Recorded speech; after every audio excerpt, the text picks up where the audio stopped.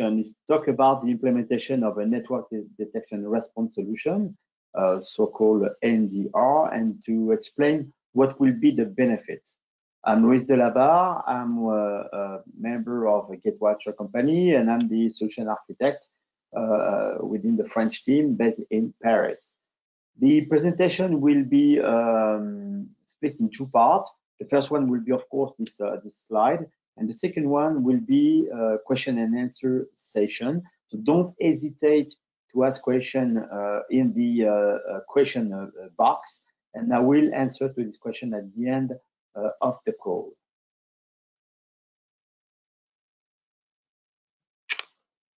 So um, I believe that it's interesting to, to start the presentation with a, a, short explanation of what we call network and detection and response a solution. Uh, of course, we uh, leverage, uh, I would say, uh, outcome or, or reports or, or, information given by analysts like uh, like Gartner or Forrester. So Gartner uh, defined an NDR like a combination of different, I would say, detection mechanism, including machine learning, advanced analytics, and of course, other type like anti-malware, for example. I believe that the um, NDR solutions are not, you know, like just created from scratch. Uh, this is a, a, kind of evolution of already existing technology. You can see on the screen that we we have um, the IDS, very well-known technology from years. Uh, so the IDS could be, uh, I would say, uh, quickly defined as a kind of technology to detect uh, intrusion based on static rules, and usually IDS or first generation of IDS has no capability of response or action. The second generation of tool is, is what people calling NTA, so network network traffic analysis solution. Uh, and in addition to IDS features, um, the NTA solutions is, is providing more statistical and probabilistic approach to improve the detection. And of course, the, the, the, the, last or the current version of this tool is what we call NDR. As I said, it's a combination of different detection mechanisms and also capability to respond or to react to any uh, detection. Gartner is also very famous uh, for, uh, you know, using uh, what they call uh, the, the, triad, the visibility triad, which is a combination of NDR, EDR, like endpoint detection and response, and SIEM, very well-known uh, technology uh, on the market. Um, the main difference between these tools is number one, the way you collect the data. Um, endpoint is more mainly based on agents. So in that case, you, you just install an agent on every asset and you collect telemetry and data uh, to, to detect any intrusion. For network, in our case, is more based on, on packet you, you collect from the network thanks to um, a copy of the traffic. And of course, SIEM is mainly based on, on logs uh, you send to a, a, a, central place to be first stored, to be uh, compliant uh, with the uh, regulation, for example, but also to be correlated. Um, the number one, I would say, uh, um, advantage of network and detection and response solution, NDR, is the, uh, the, the fact that we increase visibility. Um, at the opposite of the EDR, where you need an agent, for NDR, you don't need an agent. You, you collect every data, and based on this uh, data, you are able to provide to the uh, administrator a, a better visibility of the assets. So this is number one advantage of the NDR. Uh, number two, of course, the NDR, the most advanced NDR solutions are capable to detect advanced persistent threats, so the most complex attack, I would say.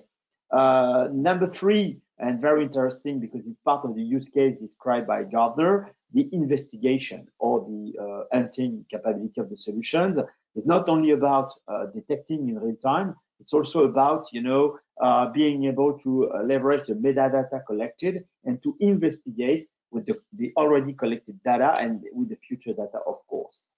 And as we usually said, uh, network never lies. Uh, compared to the uh, EDR, which is a kind of very interesting solution, of course, for the endpoint, uh, which increases also the visibility, but as the main drawback, as maybe in some cases increasing the shadow IT problem. As I said, uh, Gartner is, is describing NDR with different use cases. Uh, they say four use cases. Number one is intelligence, and you will see that I will use this word many times in the presentation. Number two is detection. Number three is investigation, and number four is response. This is the way I uh, I organize the presentation. So let's start with the the first use case called uh, uh detection. I believe that uh, today uh, we are living in a, very uh, uh, false sense of security. This is kind of obvious for a lot of people, but let me explain. Number one, uh, leveraging the Forrester uh, report, we we know that 50, at least 59% of decision makers agree to say that they, they were hacked and some critical or sensitive data were leaked in the past year. So this is quite high uh, ratio, uh, 59. And I believe that maybe some uh, decision maker didn't tell the truth. So maybe the, the real ratio is even higher. Uh, the second uh, aspect and uh, of this of this fact that we are in, living in full sense of security, usually in IT we are thinking in lists. you know, many um, framework like um, the NIST, CIS, Cloud Security Alliance, and others. It's a long list of security controls. So you are compliant or not, you implement the security controls. At the end, you have a nice report saying that you are 80% of the time, I would say, compliant to the, uh, to the framework you have chosen. Unfortunately, hackers are thinking in graph. What does it mean? It means that usually they, need, they just need one uh, uh vulnerability or weak point in your network or in your infrastructure to access uh, to one of the, the assets and then to leverage vulnerability and to pivot and to move laterally. So what does it mean? It means that even if you are, for example, 95% compliant with a, a, a, nice framework like the NIST framework, maybe the, the last 5% is enough for a, a hacker to, uh, to compromise the system. So again, and this is important for NDR vendors like ourselves. We want to provide to our customers graph view of their system to make sure that there is no uh, uh, easy way to compromise their system. Um, as an example to describe why uh, NDR is required to detect complex attack, I decided to, uh, to leverage the uh, well-known uh, SolarWinds attack or Sunburst attack. Um, in this slide, you can see a kind of summary of the of the attack with the different milestones. It started with FireEye announcing that their offensive arsenal were uh, stolen in uh, uh, December uh, 8, 2020, up to the, uh, I would say, mid December 2020, when Mr. Pompeo just told to journalists that they think that the attack were were made by the Russian government. What is most important for uh, to to uh, to remember about this attack? Number one, it's a unique uh, Trojan horse uh, because it's uh, targeting monitoring software. It's what we call usually a supply chain attack. They are not trying to um, to directly compromise your database, your web server, whatever. They first uh, compromise a, a, a, vendor called SolarWinds to introduce malicious code into their monitoring software. So this is quite unique and very dangerous because usually people are not monitoring the monitoring software itself. So number one, as I said, to, to be remembered, the vector. So it's uh, again a, a compromission or, or, compromise of the uh, update of um, Orion, the uh, software made by SolarWinds. Number two is the target. Um, about 18,000 customers out of the 33,000 uh, customers of SolarWinds. The number is very high, but not only the, the, the number is high, but also the quality or the, um, the type of customer uh, that were targeted by the attack. Um, uh, as you can see in the timeline, uh, mid-December, uh, Reuters revealed that two main branches of the U.S. government, the Treasury and the Commerce Department, were uh, compromised, but not only this uh, US department, US entity were compromised, others were also compromised. Also university, schools, and so on. So very, very broad uh, target very, uh, I would say, high quality uh, target. So this is number two, uh, I would say, um, information to be remembered about the SolarWinds attack. And number three, the complexity of the attack. Um, the attack is, is using, a, a, I would say, combination of uh, malware about, uh, you know, um, uh, administrator tools like Uh, NetSH, like w, WMI protocols, and so on. A lot of different uh, security countermeasures to evade uh, detection. So this attack is very complex to detect, but also very complex to, to countermeasure or to react. So uh, as a summary of the slide, SolarWinds is unique because of the vector, because of the target, also the complexity of the attack. And we believe, and we have some proof, of course, that uh, to be able to detect sunburst attack, you need a very advanced uh, NDR solution. And what does it mean? Um, this slide is, is showing uh, uh, the uh, different detection engine or the detection mechanism we have in place or we implement into our solution.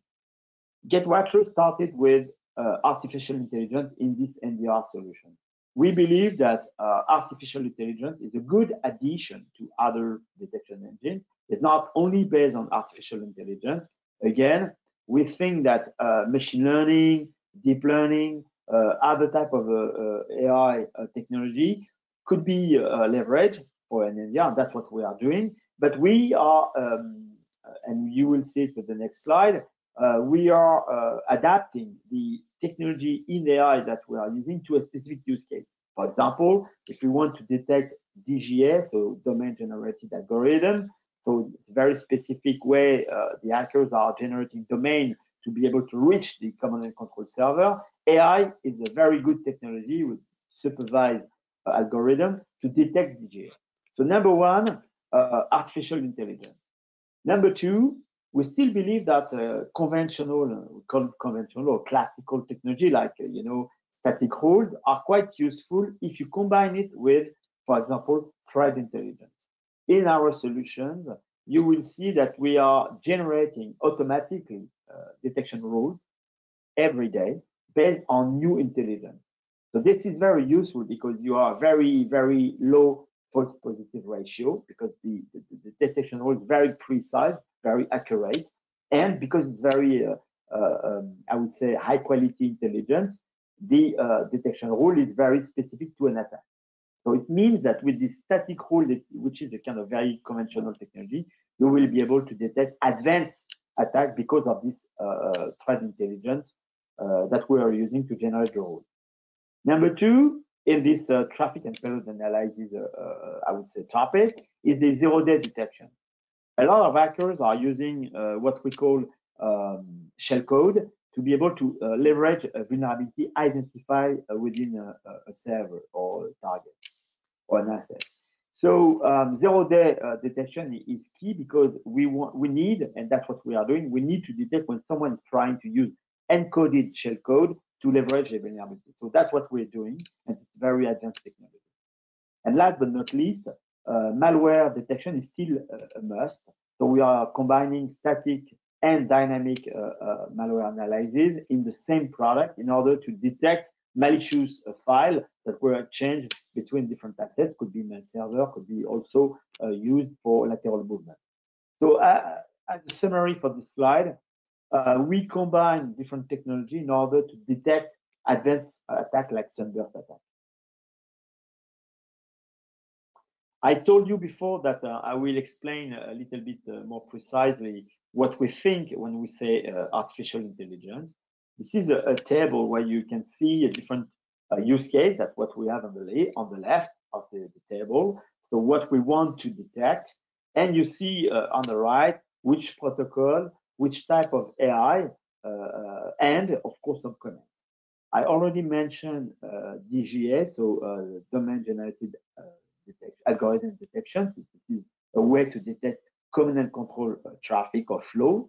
Um, also, ransomware detection, we use different technologies, semi-supervised algorithm, deep, deep, learning algorithm on SMB or file exchange, like, you know, neural network and other type of, uh, as I said, semi-supervised algorithm again, ransomware, we know that ransomware is, is uh, understood and identified by almost everybody as the number one threat that people need to detect and stop. So this is very key that we combine uh, as much uh, as uh, we can technology, as many as we can technology to detect ransomware, and that's what we're doing not only with AI but also with detection rules and anti-malware engine. Number two, uh, number three, sorry, uh, phishing detection. Uh, phishing is still one of the main vector used by hacker to compromise the system with ransomware, for example. So that's why phishing detection is still very important to be to be uh, detected. And again, in this case, we combine deep learning with supervised algorithm to detect uh, phishing phishing phishing sorry, attempts. Authentication uh, with Kerberos uh, protocols is also uh, quite important because that's one of the way we also identify the user with the asset. So in our solution, uh, I, was uh, talking about before about visibility. It's not only about the IP address of the asset, it's also about which user is using what uh, laptop or endpoint uh, to work. And in that case, it's even more better, it's even better for the analyst to be able to identify which asset and what user are uh, targeted by the attack. And the last two uh, example we have here, reduction to reduce, sorry, the false positive ratio and also uh, to augment the analyst. That's quite new domain in AI. Uh, for the uh, analyst augmentation, something still in R&D stage at Gatewatcher, uh, but um, quite promising.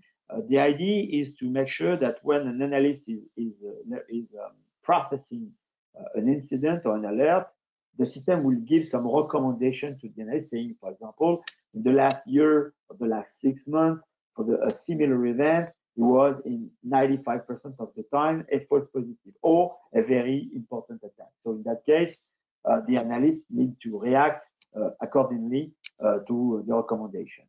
So as you, you can see with this uh, uh, uh, table, we use different technology to detect different use cases. Last but not least, um, I take the example of the GraphML, graph machine learning, um, as a kind of new uh, domain in AI also, um, because now our customers are also expecting from us some, you know, explanation of the outcome of an AI algorithm.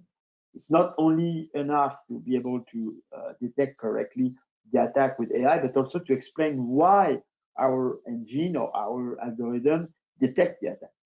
So with GraphML combined with other uh, um, type of machine learning algorithm, it's a, one of the best way to explain why we have this outcome of the engine.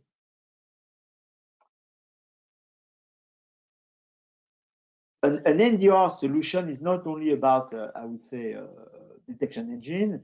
Um, to be uh, so-called an NDR by uh, Gartner, for example, or for Forrester or other analysts, there is, or there are, sorry, uh, four different must-have.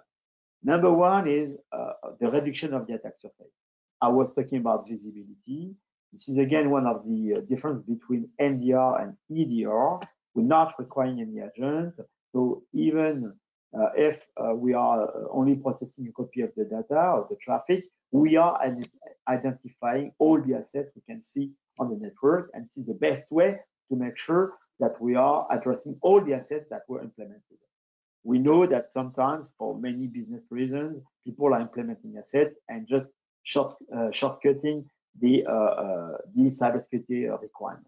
So NDR is the best way to get a more accurate, I would say, visibility of your network or your, your assets. Number two is east and west traffic. Um, we know that uh, uh, NDR solutions or IDS solutions were quite good to detect attacks on north-south traffic, but uh, still with NDR solution, we prefer we, we, prefer. We also recommend to our user to uh, add an NDR probe also in the core of the network to identify attack on east-west traffic. Encrypted traffic is also a very important topic. Uh, we will make some very specific presentation about uh, detection with encrypted traffic, but uh, just to, to summarize, uh, we are not, of course, saying that we use 100% of the power of the solution with encrypted traffic, but still some uh, detection engines are relevant with encrypted, encrypted traffic. And number one, uh, and, and, last one, uh, common and common uh, use of uh, of framework like um, MITRE ATT&CK framework. It's very important because when I say that we have a kind of you know approach in list instead of graph, one of the prob the, the, the consequences of it is silo. So a lot of people are thinking in silo. They're implementing network solutions, endpoint solutions, application solution, but they're not having a kind of transverse and global approach. With uh, the usage of um, framework like MITRE ATT&CK, it's one of the best ways to make sure that we are using the same language. When you detect an attack that is identified as an exfiltration with your NDR, maybe you will attack a similar um, a similar attack with your EDR or maybe your anti-malware whatever solution, and with the same classification, and you know that you are talking about the same attack. So it's very important to use a similar, I would say, uh, a common reference or framework to break the silo. The, the uh, um, second use case is, is investigation. Um, so NDR should ease or simplify the work of the analyst. Three different ways of doing it. Number one is more tactical, is again using MITRE ATT&CK framework, is using you know crowdsourced data.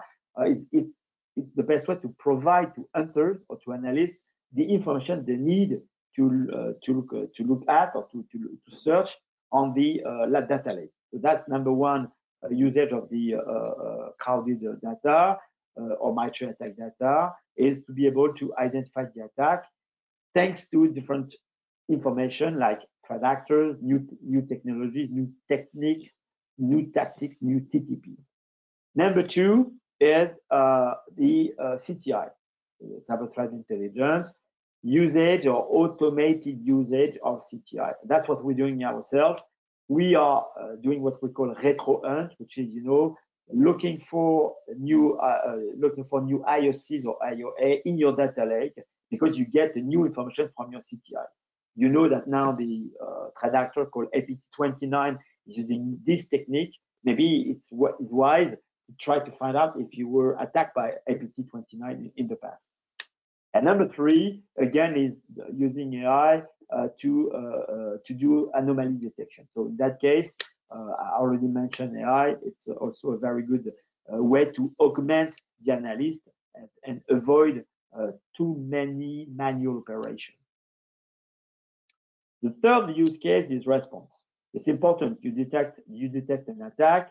It's quite interesting also to react and to respond to this attack. Of course, when we say uh, react or, or, or, being able to, to, to respond, the best way to do it is to be integrated into an ecosystem.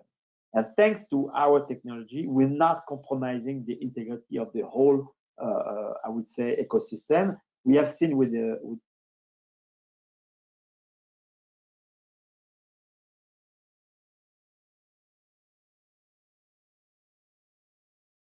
SolarWinds that uh, supply chain attack is, is quite, uh, uh, I would say, um, fashion to thanks to Gatewatcher hardening system and the way we developed the system and was qualified by the, for example, by the French government, we are sure that we're not uh, representing any weaknesses in your system. The ecosystem is quite uh, well known. Uh, SIEM, firewall, EDR, orchestration like SOR, SOAR, sorry, macro segmentation and visibility. We are working with all these actors to make sure that we are also able to provide any uh, good answer to any attack. Um, last but not least, it's also important to adapt ourselves to your environment. What does it mean? It means that our solution is maybe one, one, one of the only one solutions on the market to work fully with 100% of the uh, features without cloud connection. We can work on air gap mode or offline mode. That's one of the reasons our solution was chosen by armies, government, and so on. And uh, last example, because we're running out of time, um, we're not also forgetting industrial environment. It's also very important. We have seen for very large customers that there is a kind of conversion between IT and OT, and it's important to be able to detect attack even in, uh, for example, in a factory or power grid or chemical industry or chemical site, I would say. So in that case, as an example, we are partnering with companies like Nozomi Networks to provide integrated solutions. We have two ways of integrating Nozomi. Number one is sending uh, Nozomi metadata and alerts to our central management. The easiest one. And the second one is integrating the Nozomi uh, technology into our probes. In that, in that case, it means that we only, uh, uh I would say, deploying one hardware, which is our uh, sensor.